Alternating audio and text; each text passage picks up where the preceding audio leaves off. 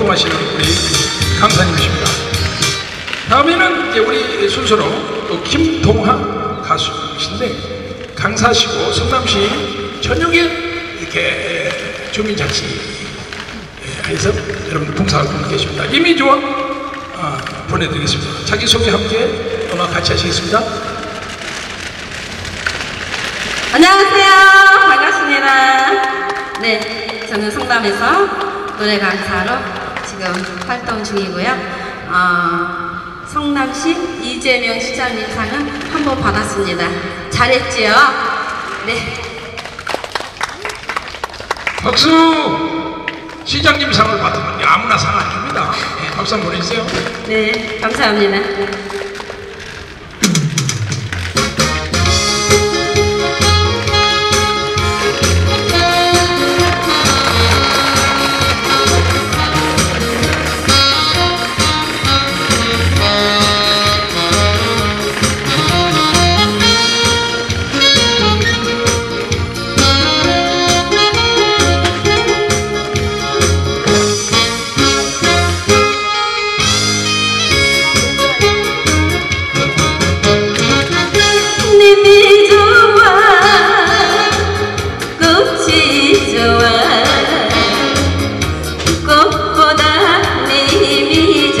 좋지